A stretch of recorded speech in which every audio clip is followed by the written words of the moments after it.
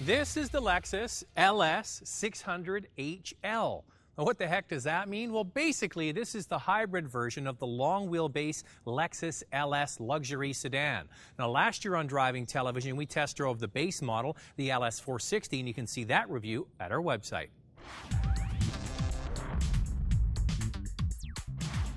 The LS600H is easy to spot. The headlights are LED, the first of their kind in the world. There's distinctive badging on the car, including a hybrid badge. A car like this starts at $132,000, but this car is equipped with the premium executive package. What that means is I don't want to drive, I want to be driven. You see, this is the seat to be in. This is the seat for the executive that is chauffeur driven and needs to be pampered. You see that enormous amount of legroom? Well, it gets even better. Have a look at this. You push a button, and the seat in the front slides all the way forward, and an ottoman pops out as this seat reclines. Absolutely fantastic. All right, that's not all. Put the sunshade up.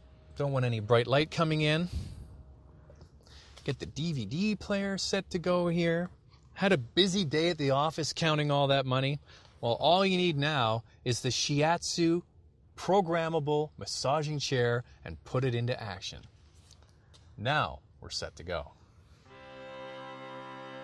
There's even a pop up center table if I need to jot something down. But no, I'm happy to be pampered. Oh, by the way, this executive package is almost $27,000. Now I've decided that I'm going to do the rest of the review as a voiceover so I can fully appreciate the luxurious ride back here. You understand, don't you, chauffeur? Yes, sir. The LS600HL has a 5 liter V8 working with a hybrid system to put power down to all four wheels. That's right, this is an all wheel drive car. Like all other Lexus hybrids, the LS uses a continuously variable transmission, not the slick 8 speed auto found in the regular gasoline version. The reason this car is called a 600 is because it delivers the type of power found in a V12. The gasoline engine and two electric motors put out 438 horsepower and 385 pound feet of torque. The hybrid system helps to improve what's already a wonderfully smooth car. Since there's just one gear and the electronic motors are so smooth, they all work together to really help launch this big car with a swoosh. At its steady speeds, this V8 is running at such low revs, the driver can barely tell the engine's running. Look at him back there. I think he fell asleep. You know what? There are some other really slick features about this Lexus, so while Zack is sleeping, I'll tell you about them. You've probably seen those TV ads featuring the Lexus self parking system. We did a short segment on that system, so to see a demonstration, you can go to our website. The executive package also includes some remarkable safety features. The advanced pre collision system has near infrared cameras on the steering column that maps the driver's face. If the driver's head is turned away from the road while the front cameras detect an obstacle, an audible alarm goes off and the brakes are gently applied. The seatbelts are pre-tensioned, the brake assist system is put into standby mode, the suspension system switches to sport mode for optimum driving dynamics, and emergency steering assist is triggered.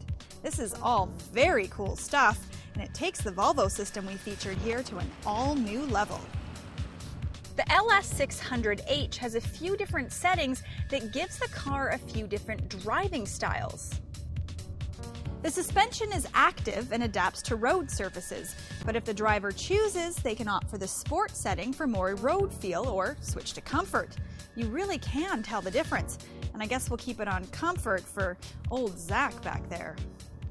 There are even transmission settings to switch to more power, regular hybrid, or snow mode. What's amazing is how agile this big car is. You throw it around and it really feels planted. It's a big improvement over some of the previous versions of the LS where the handling was a little bit vague. Good job, Lexus. I know this is going to be hard to swallow, but this car is a deal. Even with the executive package, it works out to $158,000. But a BMW 760 Li with a 438 horsepower V12 is 174,500, and an S600 from Mercedes is 183,000. Now, you do lose some trunk space because of the battery pack, but that's a trade off in fuel savings. This big, heavy car is rated at only 10.6 liters per 100 kilometers, or 30 miles per gallon in the city, and 9.1 liters and 31 miles per gallon on the highway. That's remarkable. Okay, the camera crew and I decided to play a little joke on Zack, the old warm water trick. Zack, Zack, you gotta go. Zack, you gotta Oh, oh go. oh man, Lacey, you gotta take over because I gotta go. Well, you know what? When he comes back, I think it's my turn to go for a ride.